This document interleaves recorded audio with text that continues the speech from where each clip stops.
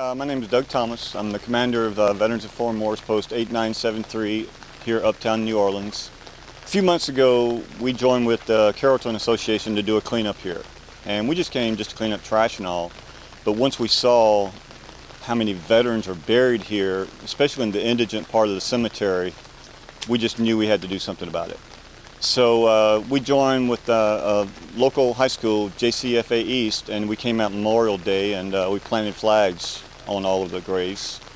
Uh, and then we decided to uh, join with Wounded Warrior Project. Uh, they came on board with us and that's what brought us here today.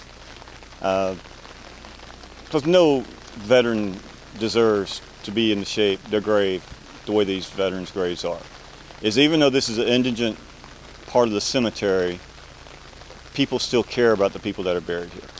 And they don't deserve to walk through the trash and the rubble and the concrete that we picked up today to get to their loved one's gravesite.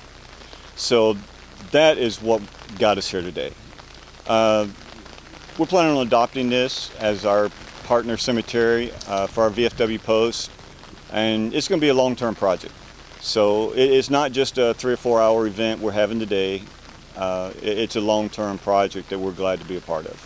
Our motto at NOLA VFW is uh, Vets Helping Vets. That's what we're all about.